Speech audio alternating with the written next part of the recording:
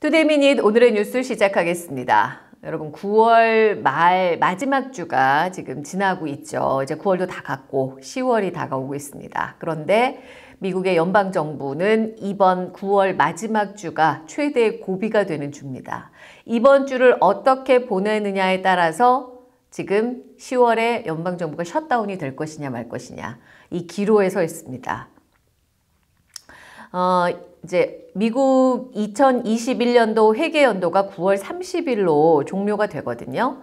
그래서 늦어도 이 9월 30일까지는 그러면 10월 1일부터는 2022년도 회계 연도 그 예산안에 따라서 집행이 돼야 되는데 만약에 9월 30일에 이 예산안이 통과를 못하면요.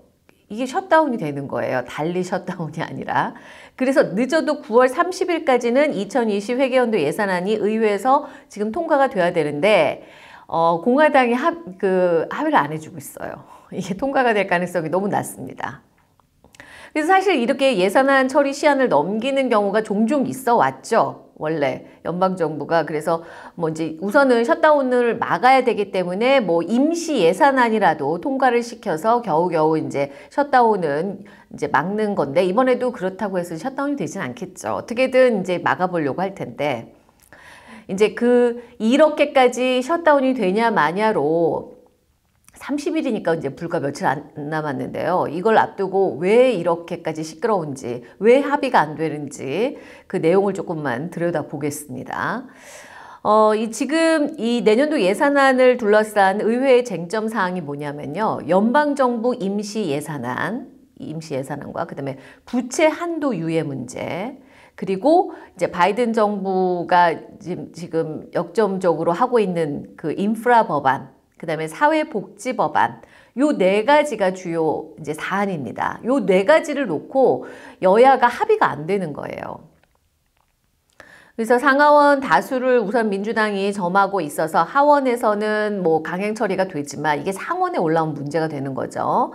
그래서 공화당이 굉장히 지금 강력하게 반대하고 있는데 어 그리고 민주당 내부에서도요 사실 법안 처리를 두고 뭐 이제 약간 이견이 있죠. 굉장히 진보적인 성향의 의원들이 있고 또 그렇지 않은 중도 성향이 민주당 안에 같이 공존하기 때문에 이게 지금 여러 가지로 문제가 되고 있습니다.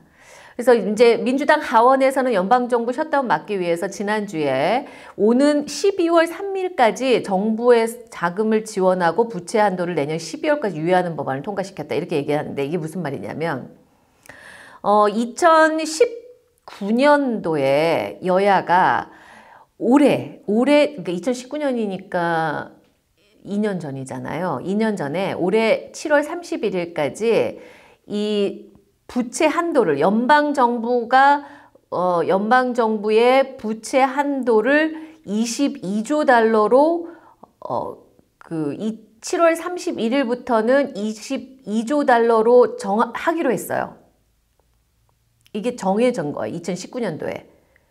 그런데 지금 현재 연방정부 부채가 28조 달러예요.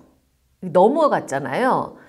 그런데 그래서 7월 31일이 되기 전에 이거를 좀 유예한 거예요. 8월 1일부터 이제 좀 유예를 했는데 이게 지금 더 유예를 해야 되는 거죠.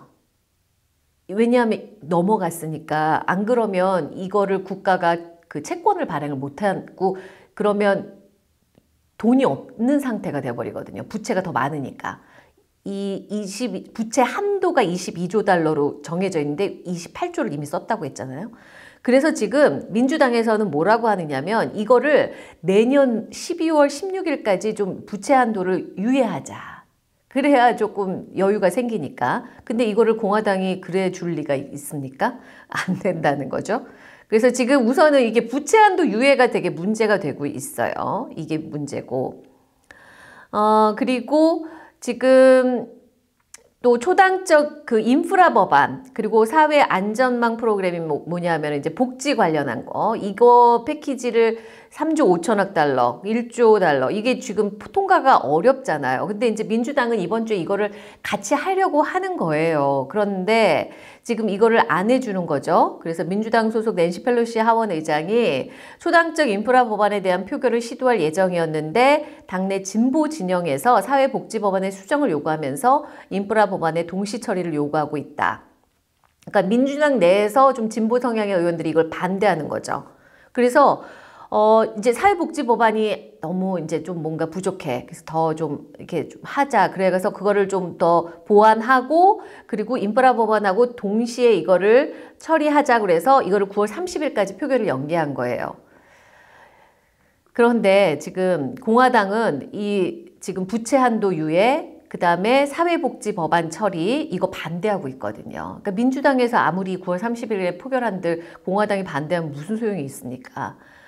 그래서 지금 낸시 펠로시 의장이 결국은 기한 얼마 안 남았고 그러면 이번에 사회복지 법안하고 인프라 법안을 같이 통과를 시키려고 했는데 사회복지 법안은 조금 나중에 하더라도 인프라 법안 먼저 통과시켜서 왜냐하면 공화당이 반대를 하니까 이 인프라 법안 1조 달러는 공화당도 찬성한 거거든요.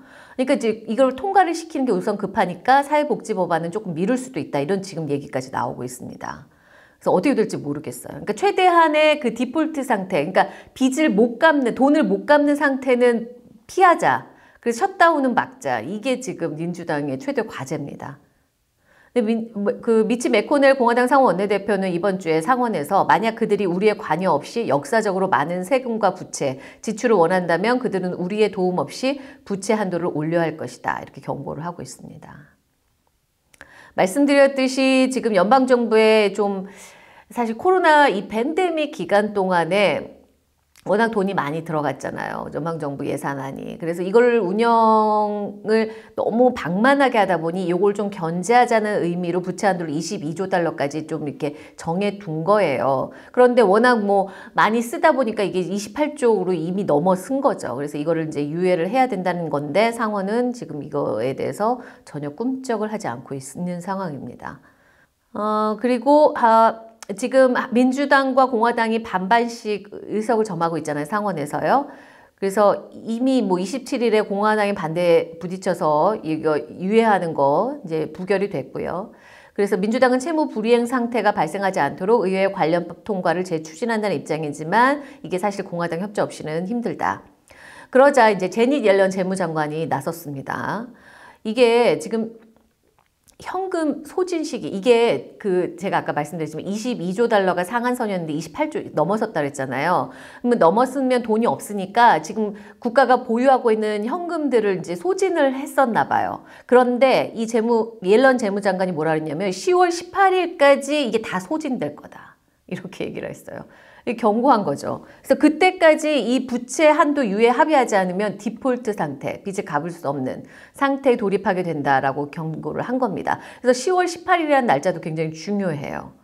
그래서 그동안 뭐 민주당, 공화당 간 예산 전쟁이 디폴트 사태까지 이르진 않았지만 이번에는 양측에 너무 입장차가 크다 큰데다가 사실 11월에 중간 선거가 있잖아요. 그러니까 공화당 입장에서도 쉽게 여기에 합의를 못 해주는 거예요. 자기네들 유권자들을 바라봐야 되잖아요. 11월 선거가 얼마 안 남았기 때문에. 그래서 이게 지금 더 어, 합의되지 않을 가능성이 굉장히 높은 거죠. 그래서 아까도 말씀드렸듯이 낸쇼 펠로시 의장은 복지, 사회복지성 지출법안을 사실상 폭, 이게 나중에 하더라도 이번에 같이 안 하더라도 좀 이렇게 통과하는 방향으로 지금 하고 있는 상황입니다. 그래서 이, 어떻게 될지 모르겠어요. 9월 30일이 되면 조금 더 이제 정확한 윤곽이 나올 것 같고 이번 주 내로 모든 게 결정이 됩니다.